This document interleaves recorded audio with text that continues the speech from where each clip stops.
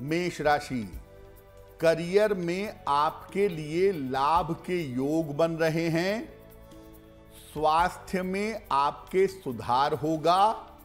मान सम्मान की आपको प्राप्ति होगी। हनुमान जी की अगर एक बार उपासना कर लें तो आपका दिन और भी ज़्यादा बेहतर होगा। शुभ रंग जिसका प्रयोग करेंगे, वो होगा सफ़ेद।